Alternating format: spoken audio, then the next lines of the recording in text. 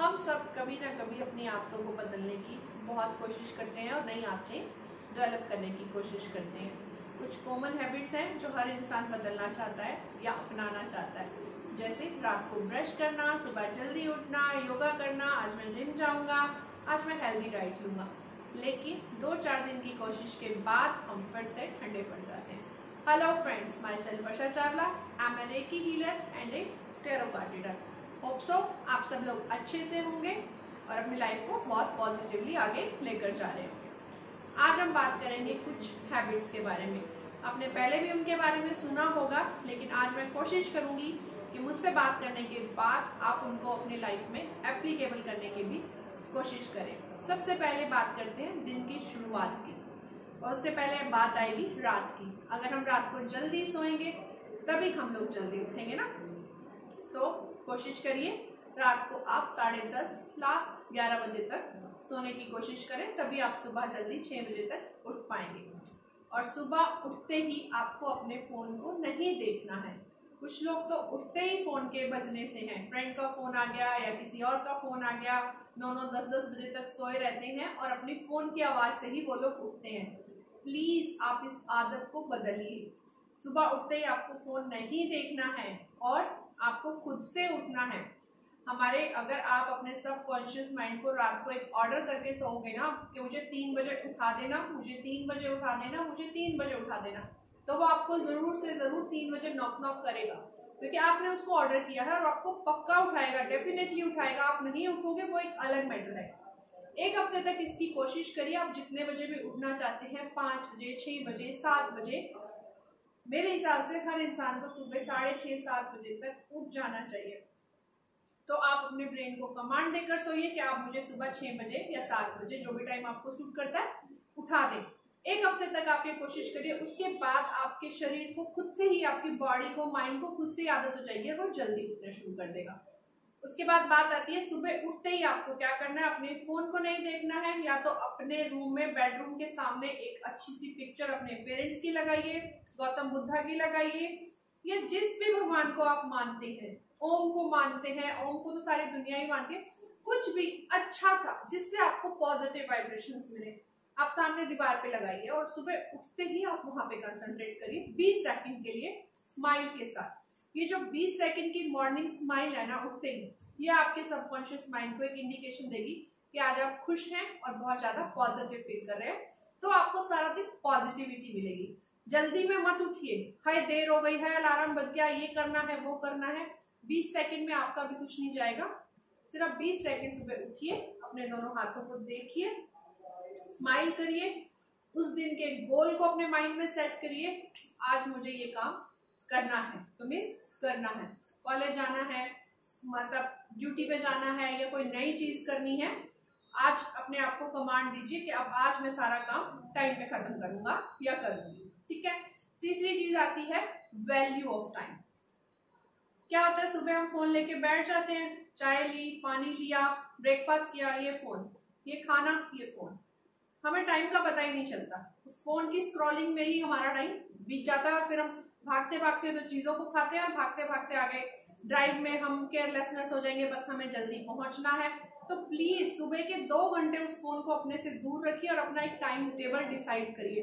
अगर आपने किसी को टाइम दिया है बारह बजे मिलने का, या किसी के साथ आपकी मीटिंग फिक्स है, या आपने किसी क्लाइंट को बुला रखा है अपने वर्क प्लेस पे तो आपको बारह बजे वहाँ पे उसको मिलना ही मिलना है। अगर आप बारह के साढ़े बारह करते हो ना, आपका सारा इंप्रेशन ज़ीरो हो जाता है। ठीक है? लेट लतीफी अच्छी नहीं है। अगर आपको लाइफ में सक्सेस होना है ना तो आपके लिए बारह का मतलब ग्यारह बज के पचपन मिनट होना चाहिए। बारह बज के पाँच या दस मिनट नहीं।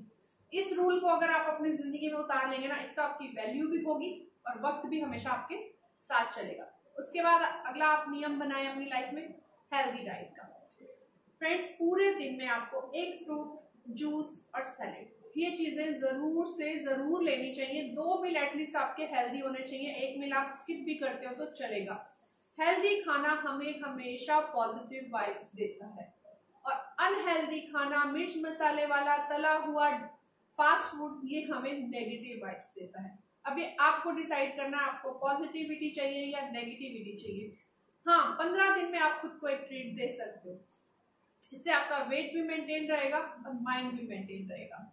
सच में ये चीज़ें काम करती हैं अगर आप इनको अपनी डेली लाइफ में उतार ले तो अब बात करते हैं इससे आगे। आप अपने लास्ट वीडियो में मैंने आपको बताया था आप एक गोल बनाएँ और फिर उस गोल को पाने की कोशिश करें। आपने गोल तो बना लिया। अब इस कोरोना की वजह से फ्रेंड्स क्या हो रहा है? कईयों की जॉब्स जा रही हैं, कईयों के बिज़नेस बंद हो रहे हैं। हर इंसान कुछ ना कुछ नया करेगा, ज़िंदगी किसी की भी नहीं रुकने वाली है। तो आप जो गोल बना रहे हैं, अब उस गोल तक कैसे जाना है? एक अपना टाइम टेबल बनाए। एक चीज़ बनाए के ऐसे ऐसे ऐसे करके मुझे उस गोल तक पहुँचना ही पहुँचना है। आपने गोल बना लिया, आप ये बैठे हैं। लेकिन बीच का रास्ता आप कैसे क्रॉस करोगे? कुछ ना कुछ रूल्स आपको अपने लिए डिसाइड करने पड़ेंगे। तो उस गोल को पाने के लिए be confident challenge yourself ये मत सोचिए कि वो इंसान इस बिज़नेस में फेल हो गया तो मैं भी फेल होऊँगा। नहीं। सबसे पहले नेगेटिविटी से खुद को दूर रखिए और ऐसे लोगों को फॉलो करिए जिन्होंने अपने आप को यहाँ से यहाँ किया है। स्ट्रगल से कभी भी मत डरिए। नींद पूरी लीजिए, खाना अच्छा खाइए और कुछ अच्छी आदतें अपनाइए। हमेशा अपने पेरेंट्स की रिस्पेक्ट करिए। अगर वो कुछ कह रहे हैं आपको तो उनकी बात को सुनिए।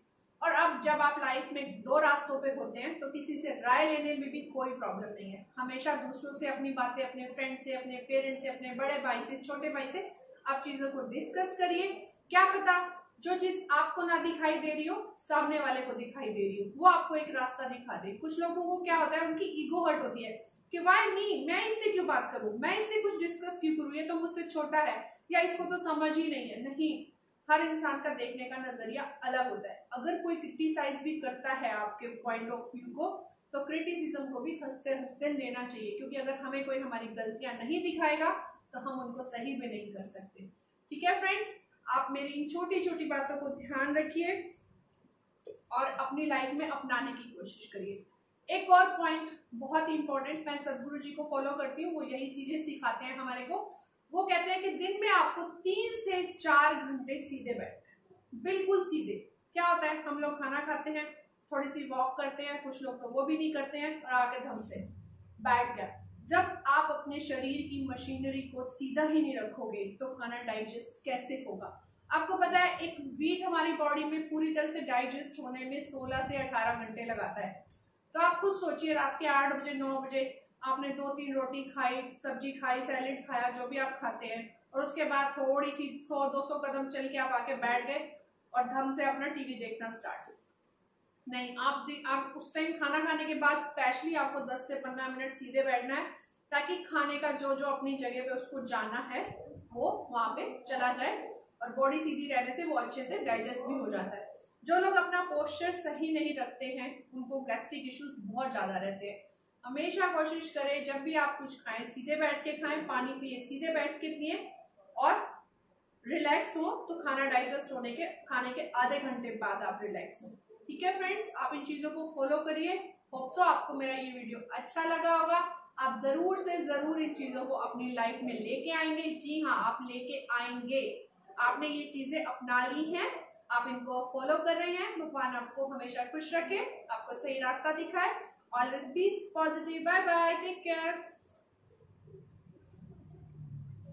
बंद कर।